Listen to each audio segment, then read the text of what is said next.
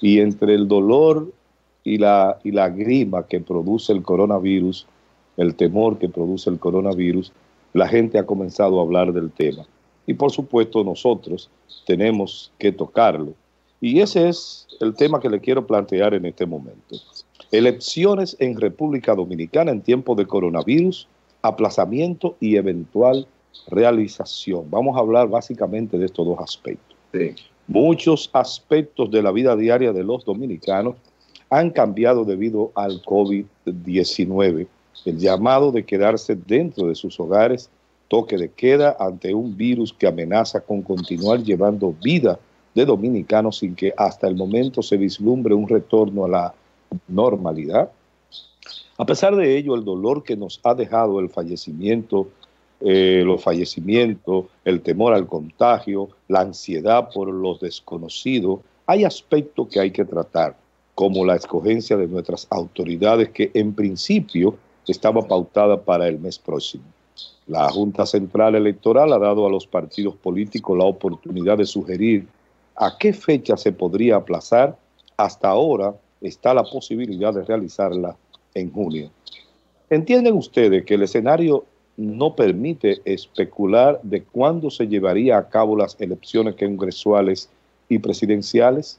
¿O por el contrario, son partidarios ustedes, mis amigos, de que debe iniciar una planificación o planificarse una fecha con el objetivo de ir preparando el escenario para evitar se repita el escenario de febrero con, bueno, de marzo, con el primer intento eh, de las elecciones municipales. El de febrero con el primer intento y el de marzo con las elecciones aplazadas. Vamos a ver qué opinan ustedes con relación a elecciones, coronavirus, aplazamiento y elección de fechas. Yo digo, yo entiendo que, que sería de un tanto riesgoso dar hoy fechas cuando tenemos un problema eh, de salud grave y sobre todo que de ahí depende que fue me caí. me caí. Oye, ya. Me cayó eh, eso fue un rebalón. Eh. Mira, eh, sería muy apresurarse a dar una fecha base que aunque está en el calendario y se está corriendo el tiempo para mayo, obviamente que nosotros estamos conscientes de que debe ser aplazada hasta tanto la, la autoridad de salud pueda dar una luz en el trayecto de este túnel, de que estamos en control y que pudiéramos nosotros asistir a unas elecciones un tanto eh, eh, adecuada y correcta a pesar de los tiempos del coronavirus. Porque tú sabes que la extensión y la, y la propuesta, la gente irá perdiendo, si ha, si ha tenido desinterés en la política normal, hoy día puedo percibir que este, este proceso de, de, de, de cuarentena a la política le ha restado. A la política le ha restado bastante y yo entiendo que, que poner fecha sin que antes se dé una verdadera definición en qué etapa o estado estamos. Yo quisiera saber si estamos en la etapa 1, en la etapa 2, en la etapa 3, como lo han planificado, como lo han planteado en China, en otros países que ya ha ido superándose en qué etapa estamos. Siquiera eso tener para poder definir a futuro o a tiempo inmediato lo que está más próximo, como son las elecciones de mayo. Ya estamos en abril y corriendo abril. Es decir, que la preparación de estas elecciones obviamente han de ser pospuestas, pero previo, las autoridades dominicanas deben darnos una luz en qué etapa estamos para poder definir si junio o si julio. Es decir, que para mí debe ser un tanto un proceso consciente de que la realidad no nos permite en estos momentos asistir a unas elecciones libres y, como ha de ser la democracia. y eso no nos permite a nosotros eh, diseñar un futuro si no está basamentado en la realidad de salud que tenemos. Indudablemente, indudablemente, Francis y lo demás, que la parte humana, la parte de la salud del pueblo debe primar. Si uno se da cuenta, hay muchas cosas que uno ha dejado de hacer, pero hay otra que no la ha dejado de hacer. Eh, simplemente se ha modificado el, modo de, vivir, eh, lo hemos modificado un poco. Y con relación a las elecciones, pensar para mayo es una utopía. No se puede pensar para mayo en unas elecciones. China apenas ayer empezaba a dar ya libertad a ciudadanos de Wuhan de salir después de 76 días de una cuarentena feroz, fuerte, bien controlada. Nosotros que empezamos en marzo, tenemos marzo, abril, mayo, sería cerca de 90 días pues ya eh, dentro de lo que es la planificación eh, de las elecciones, pues podríamos pensar en una fecha eh, para ir cumpliendo con algún calendario que tiene la Junta Central Electoral y de poderse pues realizarla ya en, los meses venideros, junio, julio. Participación ciudadana por su parte lo que, lo, que expresó fue que se hicieran en, julio, en julio, para dar espacio a lo que es la campaña en el mes de junio. Y esto ha traído una serie de conversaciones y la Junta le dio al a los partidos un tiempo de una semana para que lo evaluaran y luego presentaran su propuesta. Es decir, que ya en el Pleno de la Junta Central Electoral, igual que en los partidos, se está pensando en una modificación de la fecha eh, para las elecciones. Por otra parte está eh, el hecho de la constitución, el hecho de, la entrega de mando el 16 de agosto y todas esas cosas. ¿Qué, nosotros eh, queremos? Bueno, que si hay condiciones, se hagan elecciones en la fecha que acuerden los partidos políticos y la Junta Central Electoral y esto implicaría algo beneficioso. Eso quiere decir que ya eh, eh, estaríamos en mejores condiciones de salud y estaríamos también con un control más efectivo de lo que es eh, esta pandemia. Y vuelvo y reitero, primero está lo humano, primero está la parte de la salud del pueblo y luego esas partes. Pero no podemos dejar de pensar ni dejar de lado la posibilidad de realizarla con un calendario razonable y sobre todo que tome en cuenta la salud del pueblo. Bueno, gracias Fulvio. Voy a aprovechar antes de pasar a Yerjan para saludar a Carolina ya de manera formal, que veo ahí su imagen en la pantalla. Buenos días, eh, amor, ¿cómo estás? Muy bien, muy bien, gracias. Buenos días, Amado. Placer de verte. Gracias, igual a ustedes. gracias a la gente que está con nosotros tempranito. Adelante, Yerjan. Es la única imagen que engalana verdaderamente este programa. Eso, Adelante. Eso, ¿verdad? Estoy totalmente de acuerdo contigo, Miren, con relación a las elecciones, yo creo que hasta que no podamos identificar cuál es la realidad, dirían en el campo, la realidad real, ¿verdad? De, de, lo que está sucediendo en nuestro país, no, no, no, no se puede ni siquiera pensar en una fecha, porque pudiera ser que digamos, bueno, en tres meses, pero hay que ver si en tres meses nosotros ya hemos eh, eh, eh, controlado esta pandemia. Pudiera ser que en tres meses realmente nosotros estemos en, el pico del problema. entonces, fíjense ustedes que a, propósito de que Fulvio decía, ayer en la ciudad de Wuhan, en China, ya comenzaron a quitarse las restricciones, pero recuérdense que China está desde enero y recuérdense que es China. Diciembre. Eh, sí, el eh, eh, final de diciembre. y ya tiene alrededor de casi cuatro meses en, cuarentena, totalmente, totalmente confinado, porque en China no juegan. entonces, pensar, por ejemplo, que en julio o, por ahí en esos meses cercanos se esté hablando de elecciones, todavía es, yo creo que es entrar en el campo de la especulación, porque entiendo que hasta que no identifiquemos hacia adelante cuál es la situación de la República Dominicana con relación al coronavirus, creo que esas elecciones, eh, ahí me sumo a lo que decía Amado, en principio, como la ley lo permite, deben posponerse por un mes y entonces luego de que pase ese mes, ver esa posibilidad eh, de que de, ver si entonces se hace una modificación a la constitución o no sé eh, cuál sería el paso a dar para entonces seguirla posponiendo hacia, hacia futuro. Porque realmente, señores, lo que está sucediendo en el mundo es algo trágico. Y aquí, aquí sabemos que la cosa no es, no es como lo están diciendo las autoridades. Aquí sabemos que hay eh, que el caso es mucho más grave y hay que tratar de evitar las aglomeraciones.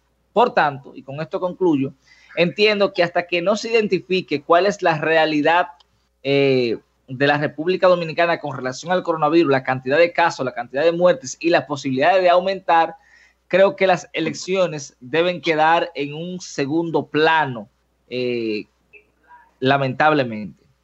Bueno, Carolina.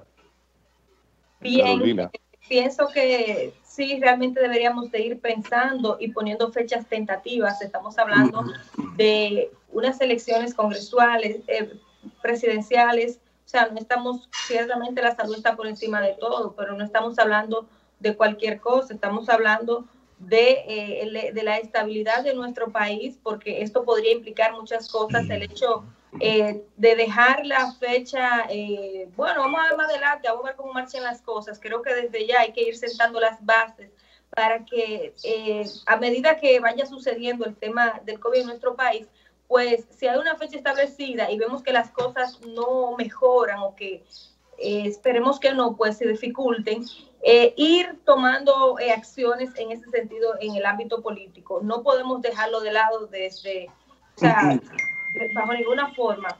Eh, la Junta Central tiene como órgano tiene un rol que cumplir y de hecho lo está haciendo, está planteando opciones, está dando fechas para que los partidos se pongan de acuerdo. Ciertamente tenemos la situación de salud, pero hay que darle eh, cabida a la realidad que tenemos política. Estamos a ley de días, a ley de pocos meses para la entrega del próximo, eh, del próximo gobernante, de quien gane, y es algo muy delicado. Pienso que sí, que hay que ir haciendo lo que haya que hacer para que veamos la posibilidad de que se realicen en una fecha determinada antes de agosto, donde debe de entrar el entregar el presidente Medina, porque entonces tendríamos que él debería seguir eh, gobernando.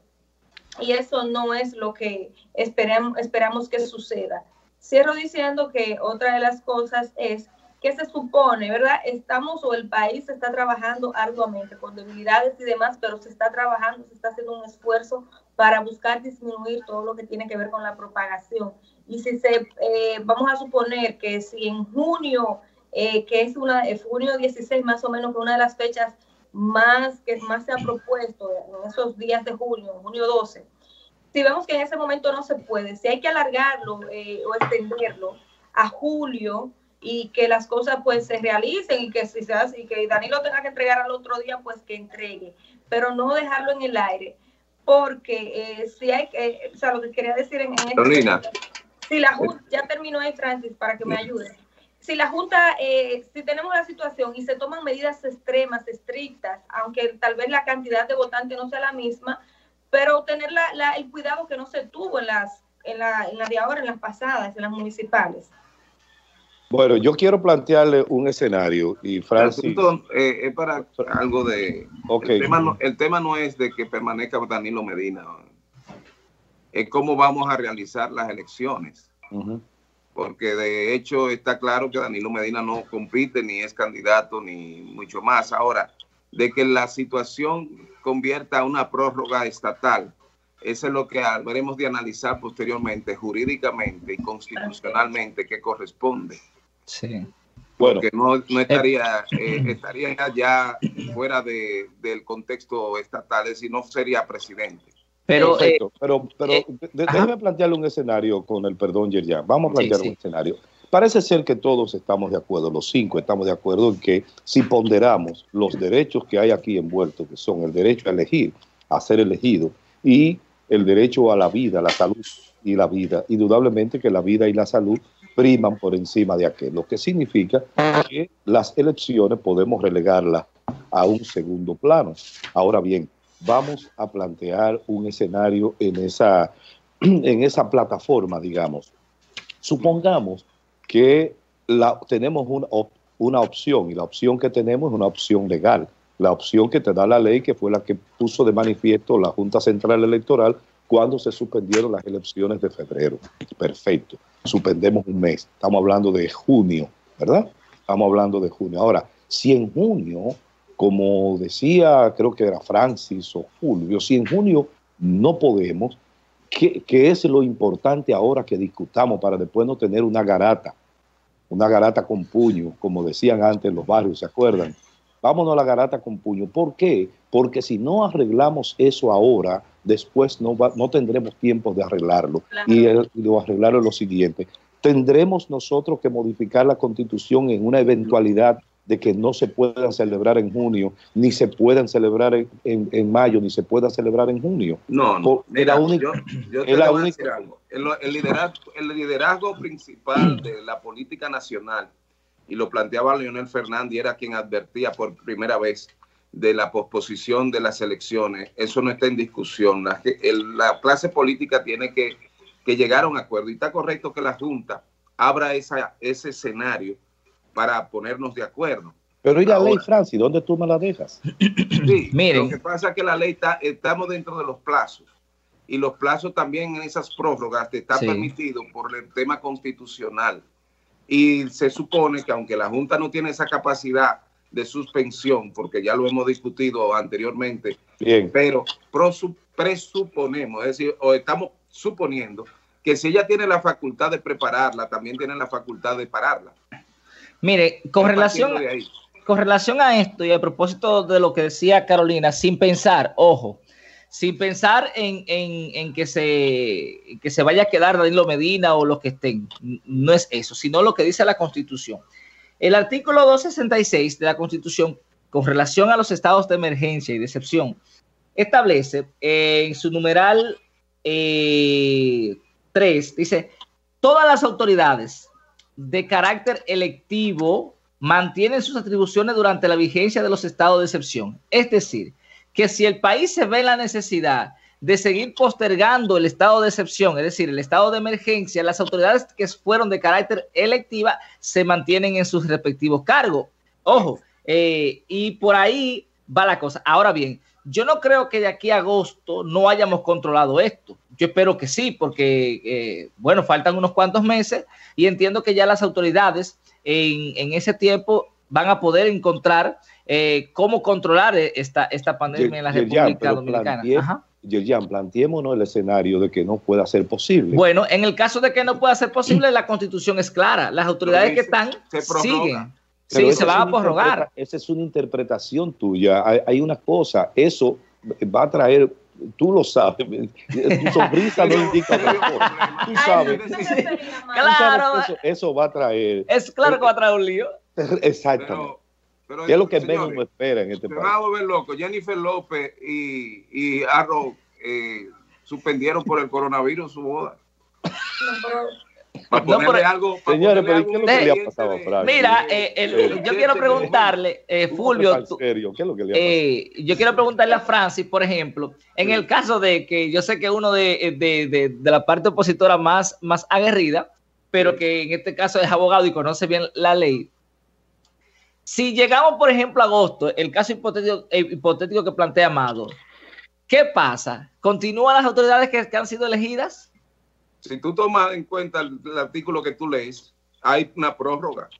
o sea, estamos en el estado de excepción a uno, entonces tendríamos que esperar si ya se ha cumplido el estado de excepción y entra entonces la constitución normal, ahí, a partir de ahí, tendríamos que plantearnos entonces un escenario nuevo, como decía eh, Amado. Correcto, correcto.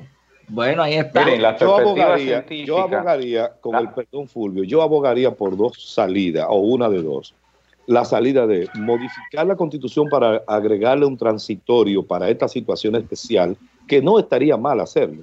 Y segundo, y o segundo, eh, una interpretación que quizás sea la más fácil por el Tribunal Constitucional. Recuérdense que la dogmática constitucional plantea que la constitución dice lo que el tribunal constitucional dice que dice, lo que quiere sí. decir que una opinión del constitucional pudiera salvarnos el pellejo en esta situación.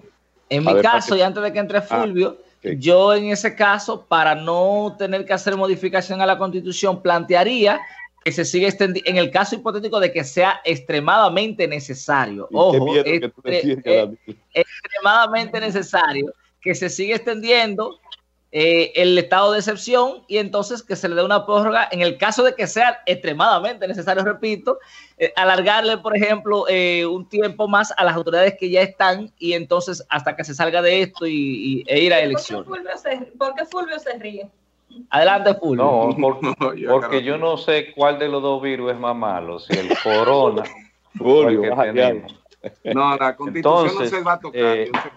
no, no, mejor no. Hay, que, hay que, hay que, ser, hay que ser positivo. Científicamente, eh, este caso de pandemia debe de controlarse en todos los países que, se den en tres meses. Eso es lo que dice todo lo que es la teoría. pero eso fue China. No, no, pero te estoy hablando de lo que se dice el parte científico, de lo que es eh, del primer contagio hasta que viene el pico, hasta que empieza a caer la famosa campana de Gauss. Y, eh, ¿Dónde está la campana de nosotros? Ese es el caso, Francis. Ahí es que voy. Por más mal que se maneje el caso, yo no creo que se extienda tanto, porque las mismas condiciones de contagio que alcancen los niveles de población va a traer como consecuencia una población ya de frente a, un, a un virus que ya lo conoce en su organismo. Por lo tanto, va a venir de una manera natural lo que se llama eh, la resistencia a ciertos virus y bacterias, cierto tipo de gripe, de SARS. Es decir, que nos estamos inmunizando a la vez. Sí, eso no está científicamente comprobado de que da una inmunización de tal forma, de aquella forma, pero sí el organismo crea anticuerpos para conocer eh, esos invasores. Y mm, Fulvio, pero si te das cuenta, y, eh, es muy válido lo que tú estás planteando, pero no sé qué ha sucedido, por ejemplo, en Italia, que ya tienen más, eh, más de dos meses, ¿verdad?, en esa situación y aún no han logrado controlar la cantidad de muertos. Se mueren 600, 700, 800. Por ejemplo, ahora estoy viendo que ayer la cantidad de muertos subió a 17.127 muertos. Es algo realmente exorbitante lo que está sucediendo. Y en España veo que son 14.045 muertos en, en, alrededor más o menos de, de, dos meses. ¿Qué va a pasar ahí? Sí, sí. E, ellos están ya jugando con el pico.